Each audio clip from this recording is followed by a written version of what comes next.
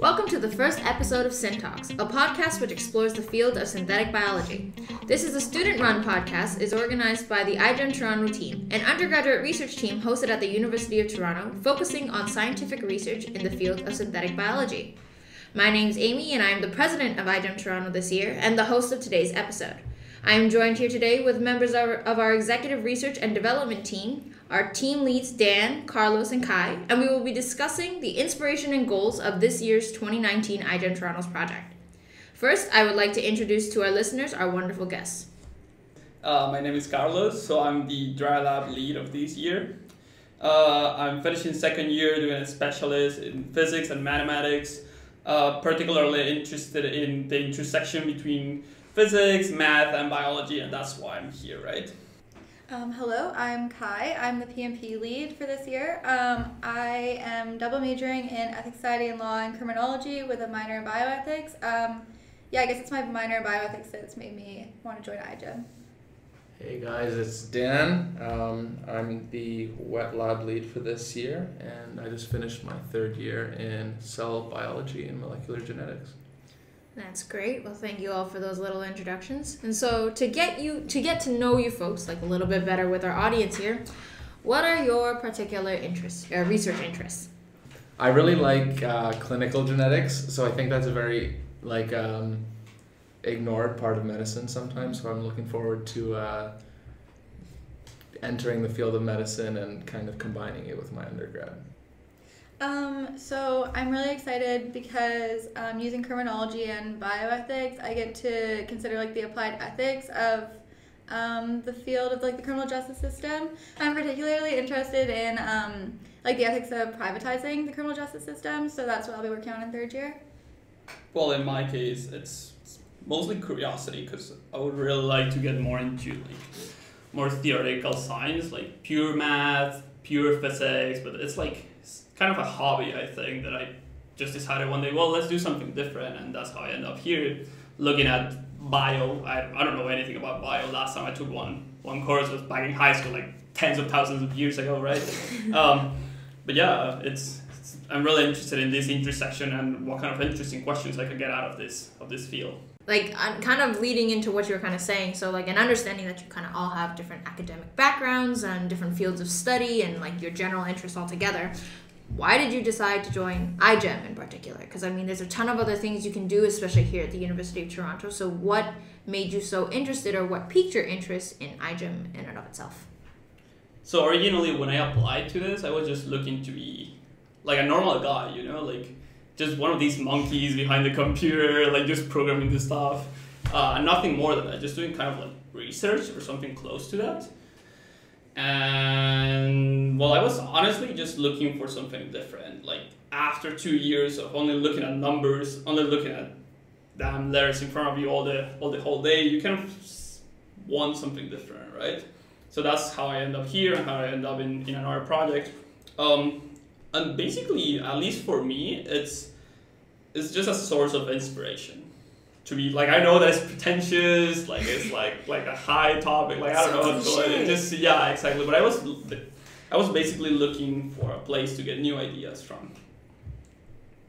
Um, for me, I really like the opportunity that I've had to work like directly with people from other fields. Um, like I like jumping in when you guys are talking about things and like kind of keeping things um, in check like ethically as a humanities major. Um, I think it's also like a really good opportunity for me to like learn things that I wouldn't learn in the classroom um, that are just like way out of what I'm studying. So I think that's really a cool opportunity.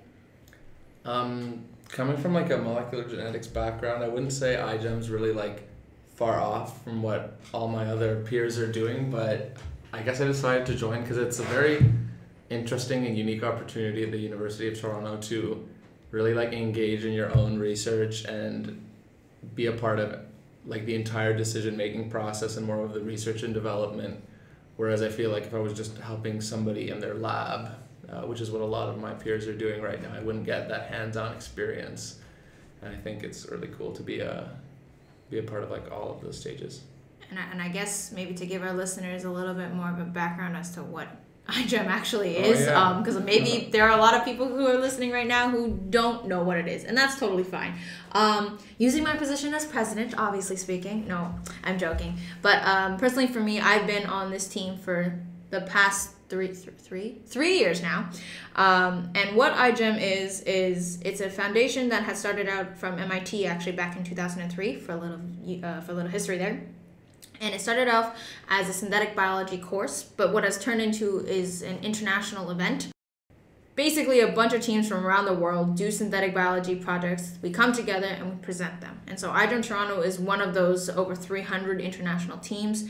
Um, but one thing that makes us very unique, I guess, from others is that all of our work, coming down from the designing to the execution of the project itself, is developed and put together by undergraduate students. So, unlike other labs where you would have professors or grad students kind of leading on undergrad or other volunteer students to telling them what to do, all of this is done by the, our group of undergrad students. And we, as iGEM Toronto, have a team of about 30 individuals. What like inspired the team this year to choose the project that we had? And I guess maybe one of you can start off by explaining, you know, what we're actually doing this year as a project. All right, I'll, I'll hit them with the project uh, uh, so basically, what we're working on, there was a uh, there was an enzyme discovered in a bacteria a couple years back uh, in Ideonella sakaiensis, and it's um, an enzyme that essentially cuts and takes apart PET plastics into its uh,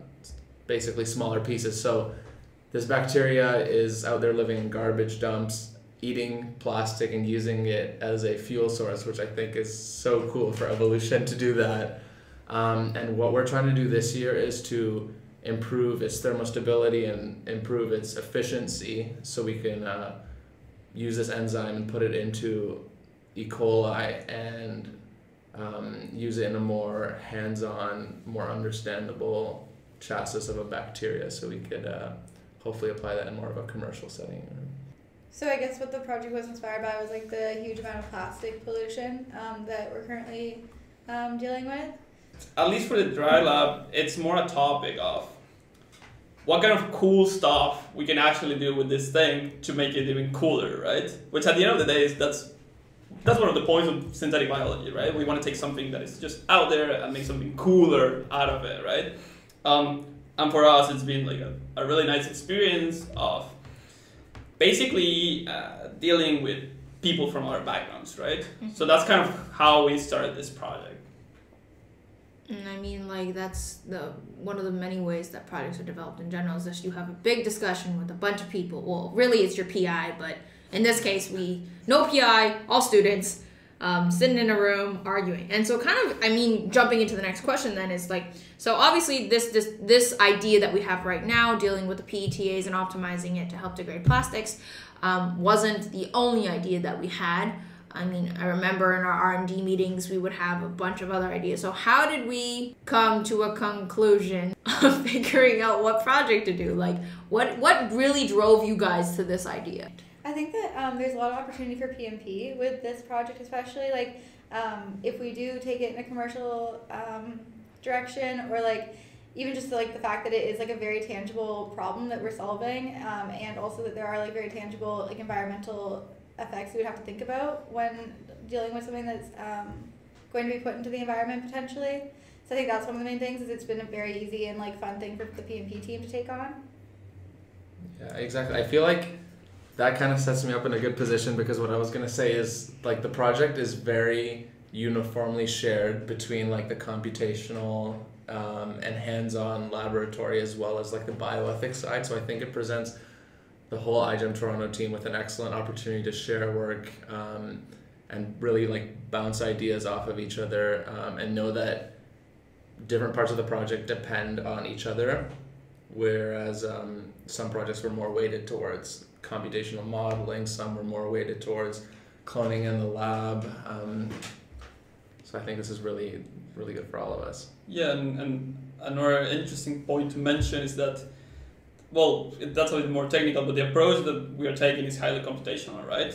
But at the end of the day, the person that push a lot for this project, and shout out to Victoria, right? Yeah. Uh, shout out to Victoria. Probably she will be here in some other time. I don't know about Yeah. that, but she's a wet lab person, right? Mhm. Like at the end of the day, when she was proposing all these ideas, she always comes out with ideas. Uh, when she was proposing this, she knew that it would be like maybe computationally speaking, the may, not necessarily the primary topic, but it was a huge topic, right? It's a huge part of the project. But she being part of the wet labs, it was, at least in my in my opinion, it was really interesting how she could actually fit everything together, such that even if it seems almost computational, at least at this point, it's still a mix of things, right? To interject really quickly here because I realized I didn't explain what iGEM was very well when I was doing my little explanation earlier. iGEM is composed of three different sub-teams, at least iGEM Toronto is, and the way we break it down is we have our laboratory component, which we call our wet lab team, and then we have our computational mathematic component, which is our dry lab team. But it's also something we, we look into is the bioethics and the social implications of our computational modeling and our and our laboratory work, which is our policies and practices team. The reason why we have these three sub teams is not only to follow the rules and regulations that the iGEM competition holds, but it also allows us to give a more holistic view in science, which isn't often done at all within the lab. Um, and so that I think is the beauty of what iGEM allows us to do and what iGEM Toronto has set up for our students. And so, like, kind of jumping back in then to um, how we have kind of been able to decide on a project, you know, start designing it, and right now we're in the midst of, you know, executing a lot of our little projects. So, what are like the major goals, you know, that we're hoping to accomplish with the project as a whole, per sub team? Like, go ahead and shout out. At least the idea that you can sell to people uh, is to eventually get these bacterium to the point where you can actually produce this enzyme and degrade all the plastic in the world, right? Like we would love to put it just in, you know, like just throw it in the ocean, let it do its stuff, get everything happy, get everybody happy with no plastic, etc. Right? Like that would be the, the super cool idea. Um, but it, like at the end of the day, it doesn't work like that, right? So at least for the dry lab right now, the idea is we would like to get it better than what the literature says it can be, right? So for example, if the literature says, well, it can, for example, degradation. Let's say that it can degrade a kilogram of plastic in two days. We would like to get it done in day and a half. And that's the kind of mentality that we are using for all of these aspects, at least from the dry lab perspective.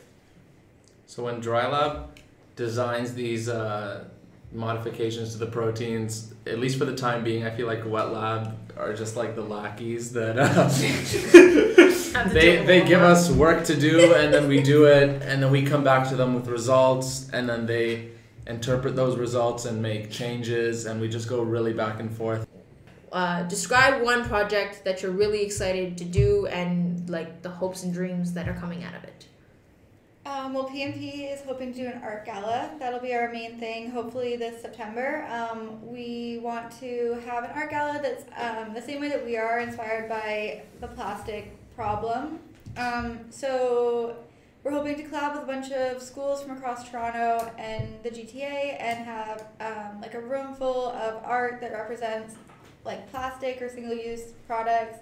Um, and then show our showcase our project there um, kind of to demonstrate the way that like this is the problem that we want to tackle and that like we're very wrapped up in this problem that this problem is more than just like an experiment to us or just a CV builder or something like that that we recognize the actual real implications of this and that it is something that we're very passionate about. So why choose an art gala over other Um, mediums or, or medias? I think the gala is nice because it's very like multidisciplinary. Yeah. It kind of embodies iGEM as an organization and an Yeah. event. Like I know that sounds super like woke, right? Like there, it'll be an opportunity for, like, to raise awareness in a not uh, necessarily a not scientific case, Yeah.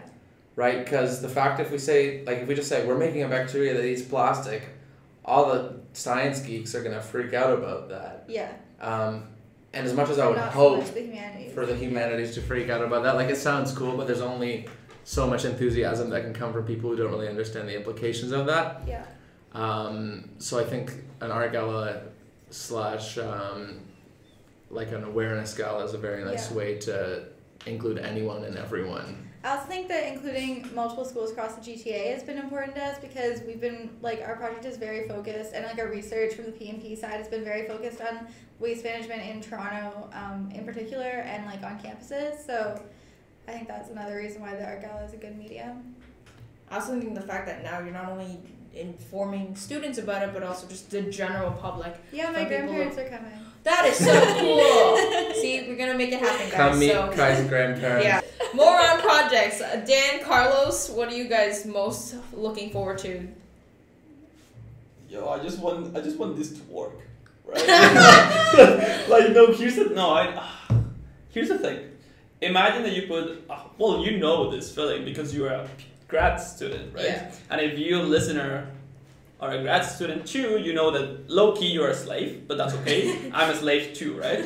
Um, so we're totally fine with that. But low key, after working for two months, you want to see results, right? And in our case, at least in the case of dry lab, we do have results, but those are kind of like theoretical results, right? Like we ran the computer for a couple of days, got stuff, got graphs, got uh, whatever, but we cannot know just with that if it's actually a correct result or not, right? Biology is very unpredictable. Yeah, science, guys. Yeah, exactly. So at least for us, we are literally just hoping that whatever we did to this, it, it actually works, right? Um, it's true that we have our projects in mind, but at least right now, uh, we are just desperate to see what's gonna what's gonna happen with these mutations and all this Mhm. stuff, right? Also, this is really cool, but um, we're bringing in the original Ideonella sakaiensis hopefully as a control for our experiments. And if we succeed with that, um, we will be the first lab in Canada to use this organism. So I'm pretty excited about that. iGEM Toronto only really works from January to October. So think about trying to run all of this work in less than a year. Normally, a science or research project, you're given about a year to work. But oftentimes, again, those instructions are given to you. You don't have to do much background research prior to it. The, the it's all the knowledge is all there. With us, we have to do our own research, design everything, put everything together, actually run the projects, finish it, and then write about it all within like 10 months. So it's crazy what iGEM can iGEM Toronto does for a lot of our students and a lot of our alumni have said the same thing and they've learned a lot and I'm hoping that this year is no different and I don't foresee it being any different. And that's it for our first episode of Syntalks. Thank you for those who are listening. Tune in next time for our next episode with our next set of guests. This is Amy signing off, and until next time, bye!